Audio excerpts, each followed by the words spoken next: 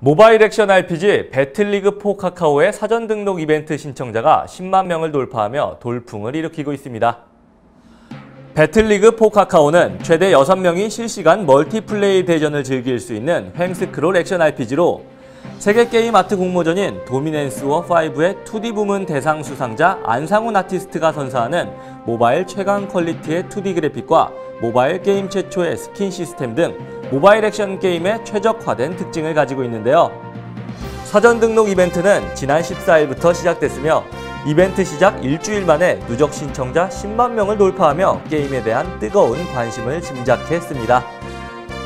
게임을 다운로드 받은 참가자 전원에게는 게임 출시 후 기사 캐릭터인 조르디의 스킨과 개그 콘서트 큰 세계에 출연 중인 배틀리그 for kakao의 홍보 모델 김준현과 유민상의 코믹한 카카오톡 스티콘 16종을 100% 지급한다고 하네요.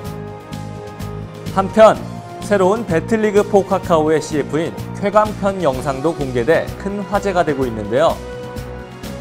이 영상에서는 푸짐하게 차려진 음식상 앞에서 깔짝깔짝 먹는 유민상에게 배틀리그 4 카카오의 캐릭터인 임페르노처럼 팍팍 썰어 먹으라고 주문하는 김준현의 코믹한 모습을 담고 있다고 합니다.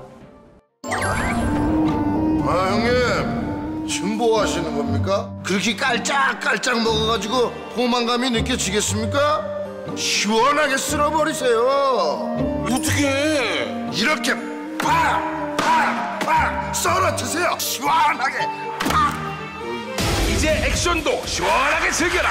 쉬워서 더 시원한 스타일리시 액션 쾌감 배틀리그. 액션 한판